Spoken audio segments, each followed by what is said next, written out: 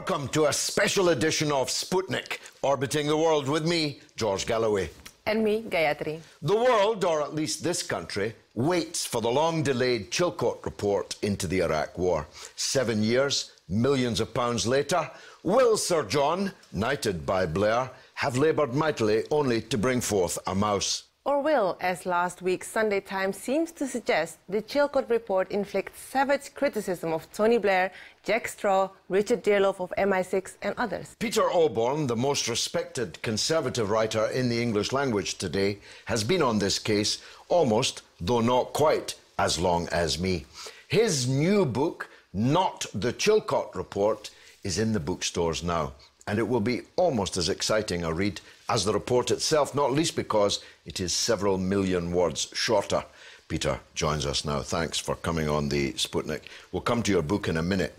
But uh, Gayatri mentioned the Sunday Times. Do you think that leak has got it about right? Well, I'm very interested in the leak. The, the, the, journalist Tim Shipman, political editor of the Sunday Times, is respectable. He's claiming that there's a minister, a former minister, has told him uh, all of this, well, I think we can take him at his word. In other words, a former minister, we can take it in the Blair government. It'll be a minister who's seen the report because it's been shown to him, has gabbed, has, has, uh, has broken his promise, and he's gabbed to the Sunday Times. I see this as part of a very deliberate uh, attempt to prepare the way, um, a, a well placed leak to uh, massage the process. And it's interesting that they're fingering Jack Straw. Uh, they're saying it'll uh, be severe. Um, I'm, um, so I think it's quite interesting. Indeed, uh, managing expectations is the order of the yeah. day in these things, and this clearly had those fingerprints uh, on it. I suppose the moot point, or there are two moot points, is will the savage criticism be reputation destroying criticism? And will it be limited to those names that were in the Sunday Times report, in your view?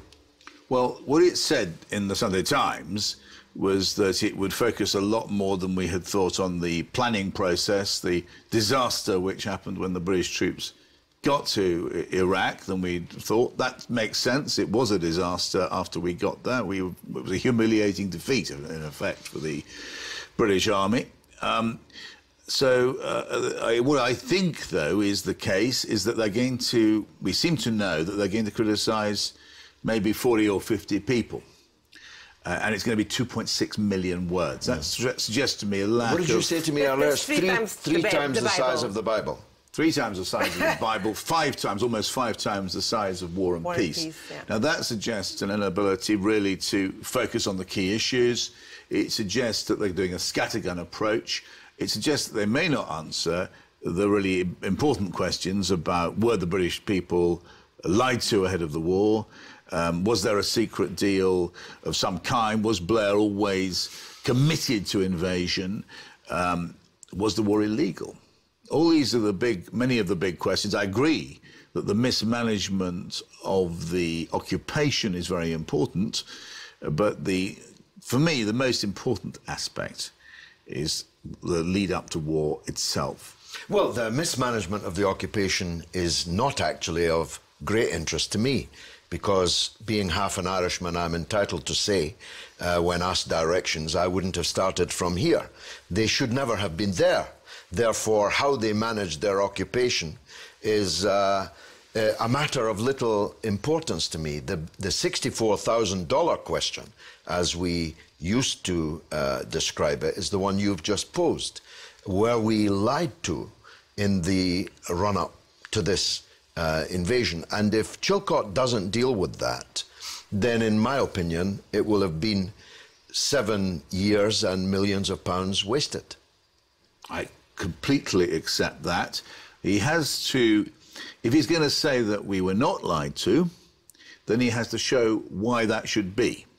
He has because the, it, on the face of things, as I show in my in my book on not the Chilcot report, uh, you can look at the statements made by Tony Blair to Parliament and in the media. You can compare those statements to what we've the underlying intelligence. Uh, which was came from the uh, Joint Intelligence Committee to Downing Street, and you can show that Tony Blair completely misrepresented what the underlying intelligence was saying to him about the existence of, we- uh, of weapons of mass destruction, as they were called, and the threat posed by Saddam Hussein. So if, if, if Chilcot has to explain what this gaping gap, this abyss between what the intelligence services were being told, were saying to Blair, and what Blair actually said to the British people. Sorry, go on. No, um, I recall you describing um, in your uh, in your conversation with uh, Blix, yeah, the. Um, the, yeah, the chief weapons inspector, Exactly. Hans Blix. Hans yeah. Blix is that they uh, interpreted the, ex- the question mark into exclamation mark, Yes. which That is again- very vital. That, that was very important that uh, Hans Blix said to me that in his fi- final speech to Parliament on March the 18th, 2003, making the case to war just a day or two before everything started to move, he, that Blair was incredibly selective of the weapons inspectors report. He, he ch- chose only the incendiary things. He misrepresented the things that he sold Parliament. He, he, he cha- changed unaccounted for as if they actually existed and so forth. Uh, and you can show a systematic pattern of deception Exactly. of the British people ahead of the war. Well, for me, that's the, the the countdown to my own expulsion from the Labour Party began when I accused Mr. Blair on the BBC of lying at the uh, press conference immediately after the Crawford Ranch, Texas meeting, where it's now, I think, generally believed uh, Mr. Blair pledged uh, war uh, with Bush long before Parliament had ever uh, been consulted, long before he stopped saying that there was no necessity for war. I mean, afterwards he said that uh, that uh, if Saddam Hussein and his sons uh, were to disarm, they could stay in power, and and thus the issue for me is deception. Uh, if he is not found to have deceived us, then as you say, Chilcot has to explain this gap, mind the gap, the gap between what the intelligence actually said and the conclusions that Mr. Blair uh, drew from it. Let me widen it though, because I know that in this corker of a book that you've written, uh, you deal with this. Um, it would be entirely wrong, in my view, to hang all of this on Tony Blair because he had a cabinet. Exactly. I have interviewed some members of that uh, cabinet who say that uh, Mr. Blair never really brought these matters uh, before them, which begs the question what kind of cabinet were they and why they didn't insist that he did. Uh, but if a cabinet has cabinet responsibility, there has to be more than Tony Blair in this frame, no? I completely agree with you. By the way, I, I'm on the matter of whether a deal was struck, but secret deal.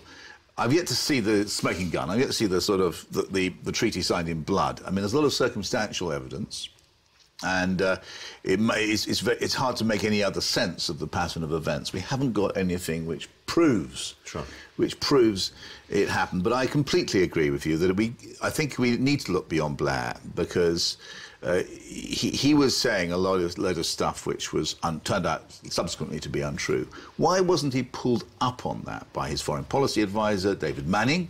Why wasn't the chiefs of the intelligence services, uh, Dearlove, and in particular Scarlett, the chief of the Joint Intelligence Committee, Sir John Scarlett, as he now is, why didn't he complain to Blair that he was misrepresenting the material he was getting from the JIC? Very important point. Why weren't the cabinet raising difficult questions, uh, asking the right questions? Why were they content not to see the legal advice till they got a pathetic few paragraphs at the very last minute? These questions go on, and I do, th- and, and the press, by the way.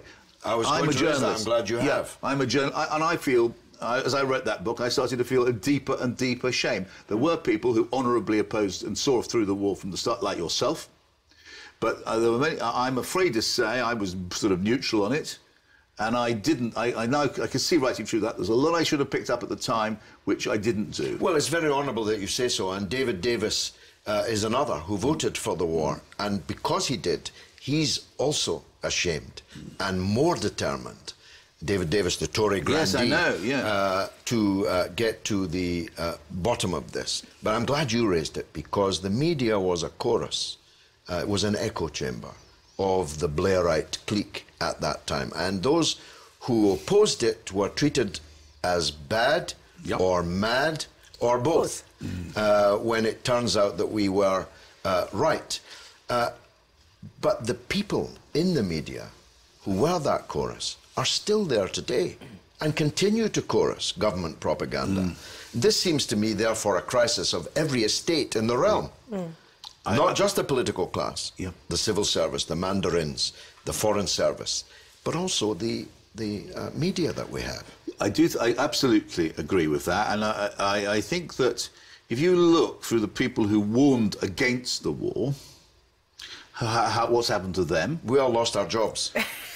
You looked and you looked at those Seriously, who, Greg Dyke, uh, Piers Morgan, myself, and many others, we, we all lost our jobs. and whereas those who trumpeted the war, has anybody paid any price at all? No.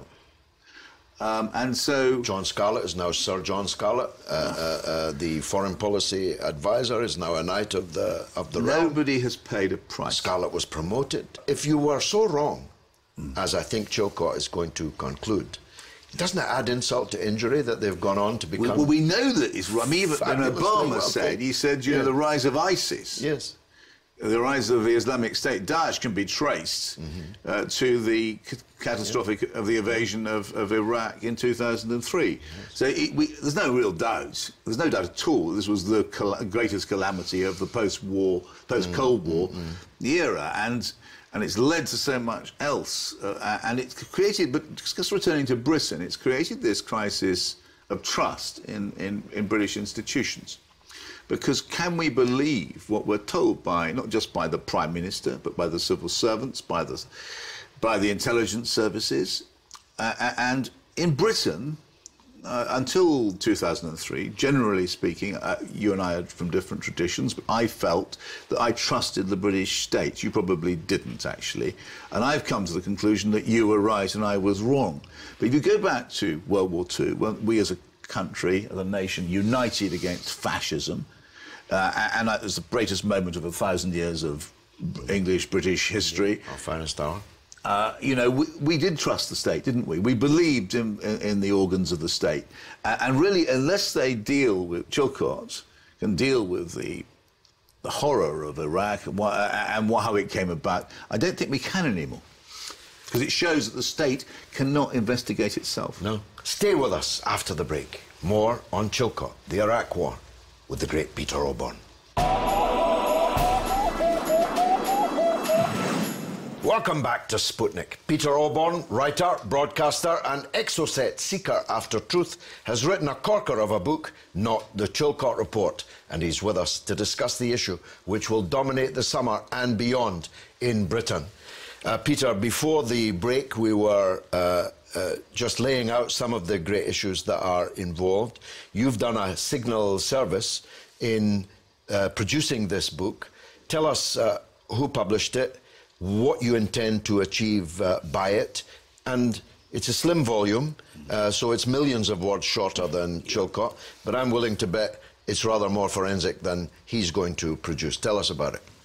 Well, I I started off, by the way, co-writing it with David Morris, Dr. David Morrison, who's been such a brilliant an analyst. He has. Uh, I've been uh, uh, I've been the beneficiary of his advice for uh, well over a decade. David and I, as you know, wrote a co- co-wrote a piece on a book on uh, Iran about three or four Yes. years ago, saying it's Yes. time to talk to Iran Yes. and and exposing the lies told about that. And uh, we, it's it's really a joint book of ours, but we disagreed. It was most annoying about some issues. And David, being a man of enormous Uh, integrity, Tremendous integrity. Yeah. um, he refused in the end to put his name to it. And it was, um, I'm really upset about that, but I want to pay homage here to his contribution. Also, Richard Heller. I'm sure you know Hmm. I do Richard. know Richard also. Yes. Yeah, uh, and Richard wrote several passages, long, long period. And so it's, and what he's trying to do is just set out the basic facts and the basic arguments uh, about um, about the lead up to the Iraq War in principle, but we also go beyond, which Chilcot needs to address. And so you, it's 35,000 words. I'm, I'm pri- I think it's very clearly written, and you can read it, and you, it gives you a way of reading the when the 2.6 million words Comes appear. out, yeah. You can say, has Chilcot addressed this, this issue? that, yeah. We because we show that the Blair government lied about uh, to, the, to the British people. We've set out the arguments. we've set out what is a lie, how you show that somebody's lied, and then we, we make the we show that the Blair government lied, and Blair was the head of that government. We show that the war was illegal. We go through the arguments, and so uh, in a very simple way, the key passages. We, uh, and I think that if and if Chilcot is going to say it wasn't illegal, or he's going to say he didn't lie, then I think you you, you can, he's got to we you, the, the arguments making the case that he did are there, and at least we can know if Chilcot addressed them well enough. You see what I mean? It's a sort of primer. A primer, yeah.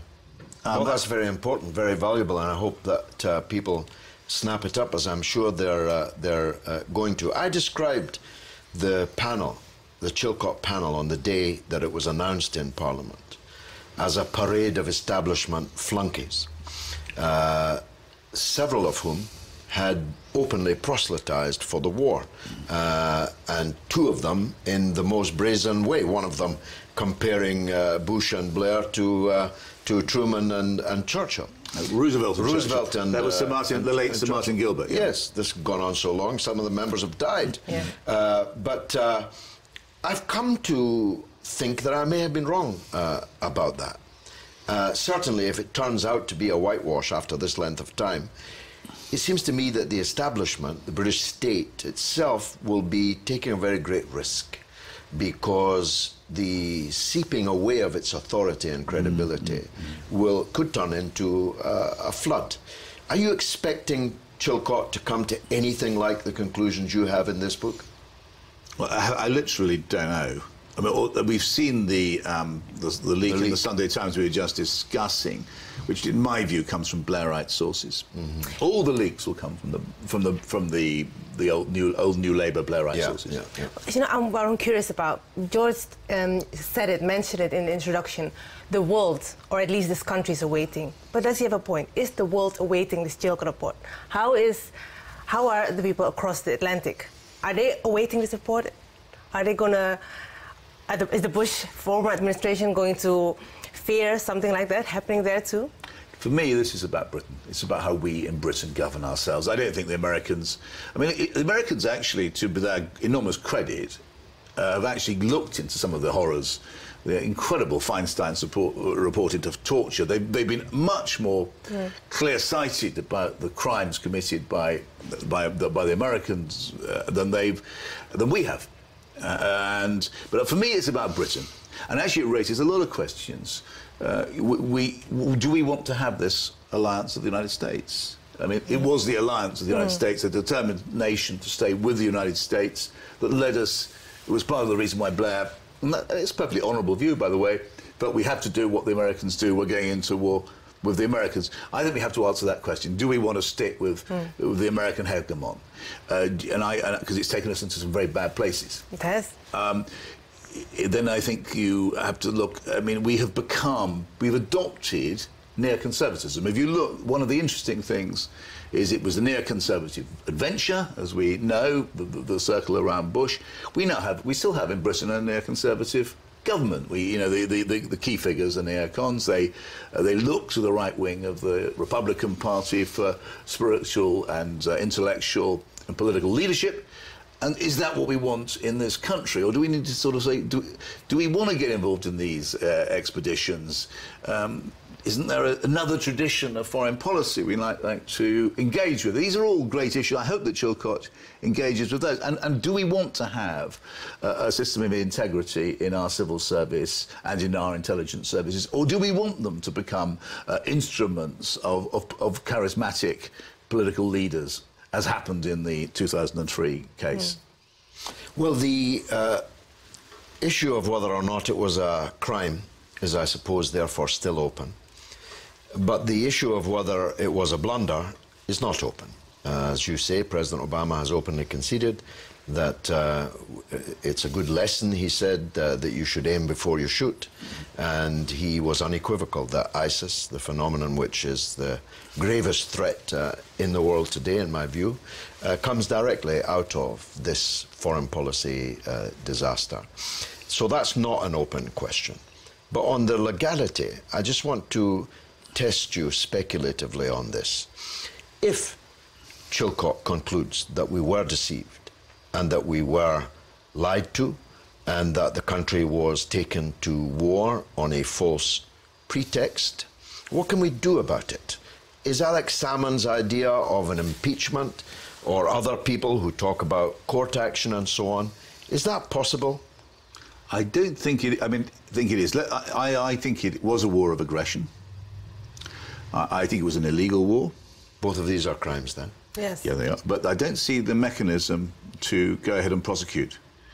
Um, the, uh, the, the long legal note before the war from the Attorney General dealt with this very clearly that the ICC, the International Criminal Court, could there's no could, was not authorized to deal with crimes of aggression. Britain is a member of the Security Council, and you can't, there's no real as a Security Council member, you're not going to get criticized, get get prosecuted for a crime of aggression, war of aggression. If we can't do anything legally, we must do something politically. Blair is the uh, culprit in chief, his cabinet secondary, but the Parliament also yep.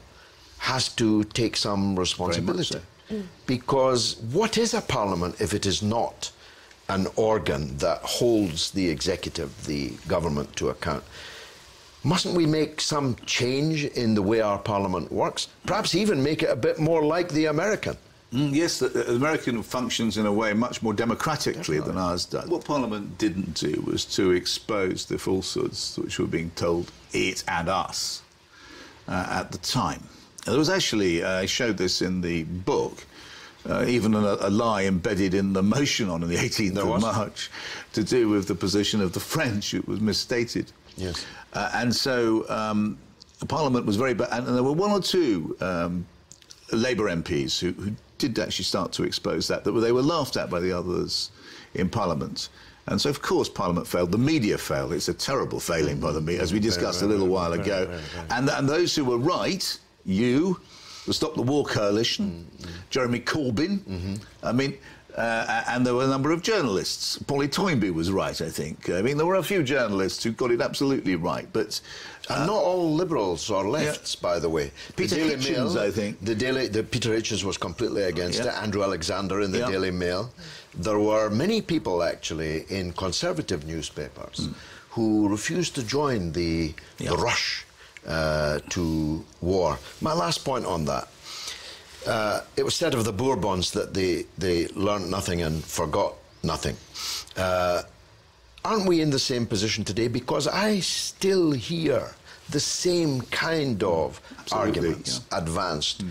on other issues, other wars. Iran, you mentioned, uh, the Syrian war, the uh, posture of uh, hostility towards Russia. I still hear the same people saying the same things. And it's like a, a Groundhog Day for me. Uh, yeah. I'm not sure what we can do about that, but it's a real pressing problem. Absolutely right. I mean, you, when uh, David Cameron was making the argument for bombing Syria, mm. he suddenly produced this figure of 70,000 moderate rebels, mm. yes. uh, which he attributed to the Joint Intelligence Committee. I remember watching that and thinking, crikey, 13 yeah. years on. Yes. And the same things it, happened. And it was another phantom. Libya. The invasion of Libya, based on the idea which the government ministers continue to repeat, that there was, they were preventing a genocide. Well, you know, the, the, the, the, reports since have made quite clear that there was no possibility or there's no, no, no hint of a genocide about to occur in Benghazi. Uh, and I think that that is, an, so we, we are still going to war on the basis of lies. Peter Oborne, we're blessed to have you. Thanks very much indeed.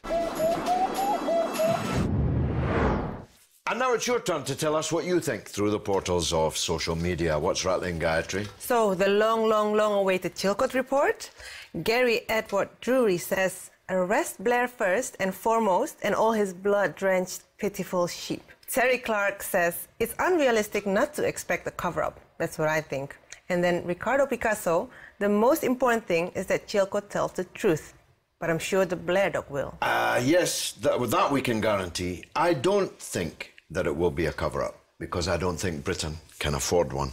Well, that's all for today then. Which, alas, means that's the end of the show. But you can stay in touch with us through Twitter at RT underscore Sputnik or on Facebook, Sputnik on Russia Today. It's goodbye from me, Gayatri. And from me, George Galloway. It's been marvellous.